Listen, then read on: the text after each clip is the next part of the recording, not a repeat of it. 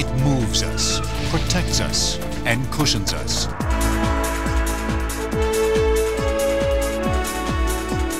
Native to the southwestern U.S., This unlikely looking desert plant produces domestic rubber. Yulex. Yulex Yulex. It's developed a domestic, natural, allergy-free latex rubber.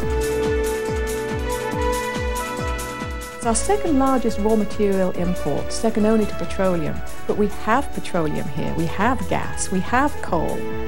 We don't have any rubber.